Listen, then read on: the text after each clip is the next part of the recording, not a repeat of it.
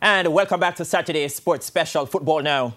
Jamaica's Reggae Girlz will be hoping for win number two when they face their Chilean counterparts in the second of a two-game friendly international series.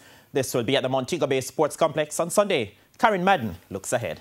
The Reggae Girlz are high on confidence following their 1-0 victory over Chile on Friday.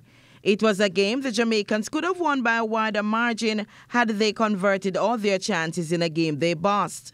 On Friday, the Chilean head coach Jose Letelier, speaking through an interpreter, bemoaned his team's inability to score on the Jamaicans after putting in a better second half. On Sunday, he could field some players who did not feature at the National Stadium. Que el, que el juego nuestro nos lleve eh, a conseguir lo que, lo que uno realiza cuando juega, que, que es tratar de ganar el partido.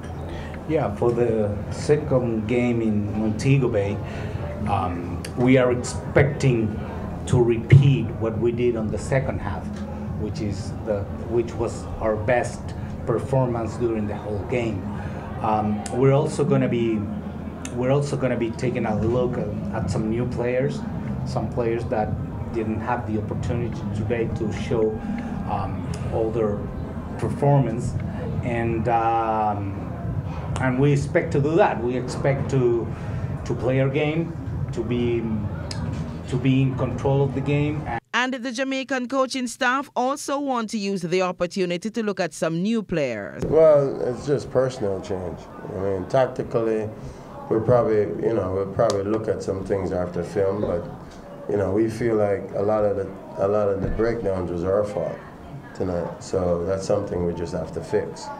But um, you know, we we're just gonna do personal changes. I mean, we have a style of play that we're gonna stick with. We're athletic we look to counter you, and that's that's no secret, you know, in the World Cup. I mean, everybody knows how Jamaica plays, and you got to be ready to run with us, and that's just we just have to be a little bit more fitter to sustain that mentality throughout the game.